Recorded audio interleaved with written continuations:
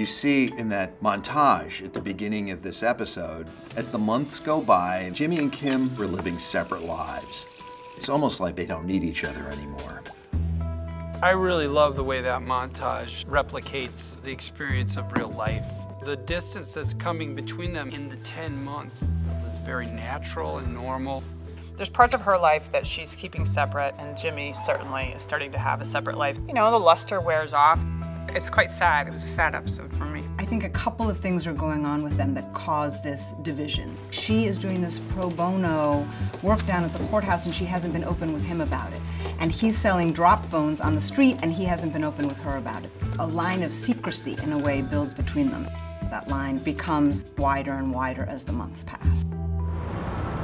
Don't worry, they're gonna love you. It's the first time that Kim has let anybody know that she's in a relationship. And here she is presenting him as her boyfriend in her new office. Yeah, hi, Hey, this is Jimmy McGill. She is enjoying his sort of particular way that he's charming the crowd. Oh, well, well, here it is. This is for us. Debbie, one for you. Jimmy starts to engage with Kim and the other partners about where they might want to go for their office retreat. Where are we going? Sorry, pal. Employees only. Oh, darn it! And as Schweikart reacts to his suggestions, Jimmy becomes increasingly competitive. You know where the great skiing is? Well, to tell you right. They see all of you out there cutting the powder in your matching Schweikart and Cokely parkas. Well, that's the big fracture there with him talking to Schweikart. What's that I hear? I'm a private charter jet. He resents the guy. He resents the status that they have at that office. And he really resents that Rich is closer to Kim in some ways. Jimmy sees his dream of having an office together getting further and further away. If you were a lawyer, this would be a great place, right? If I was a lawyer,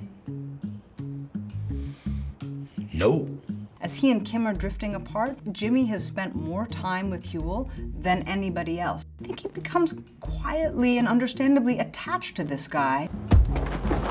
Oh, So when Huel gets in trouble, Jimmy, of course, feels a sense of responsibility. Why don't you give me a shot at this? I, I think I can fix it.